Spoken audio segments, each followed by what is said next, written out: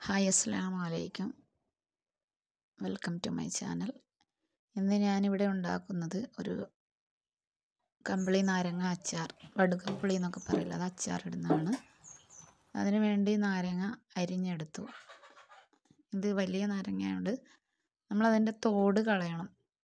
പുറമെയുള്ള തൊലി അരിഞ്ഞ് കളഞ്ഞിട്ട് ചെറുതായതുപോലെ അരിഞ്ഞെടുക്കണം.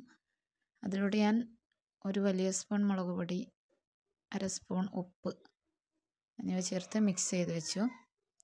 ഇനി പാനടുപ്പത്ത് വെച്ച് ഓയിലിലോട്ട് ഉലുവ കടുക് എന്നിവ പൊട്ടിക്കണം. പിന്നെ സാധാരണ അച്ചാറിടുന്ന പോലെ തന്നെ ഇഞ്ചി വെളുത്തുള്ളി പച്ചമുളക് അരിഞ്ഞത് ചേർത്ത് കൊടുക്കണം. ഇതൊന്ന് വഴന്നതിന് ശേഷം ഞാൻ മുളക് പുരട്ടി വെച്ച നാരങ്ങ അരിഞ്ഞ് വെച്ച നാരങ്ങ ഇതിലോട്ട് ചേർത്ത് കൊടുത്തു. പിന്നെ ഞാൻ അല്പം മുളക് പൊടി കൂടി ഒന്ന് കലക്കി ഒഴിക്കുന്നുണ്ട് ഗ്രേവിക്ക് വേണ്ടിയത്. അല്ലെങ്കിൽ ഇച്ചിരി ചാറ് പോലെ ഉണ്ടാവില്ല അതിന് വേണ്ടി. ഇത് നന്നായി മിക്സ് ചെയ്ത് കൊടുക്കണം. എന്നിട്ട് ഞാൻ ലാസ്റ്റ് വിനാഗിരി കൂടി ചേർത്ത് കൊടുത്തു.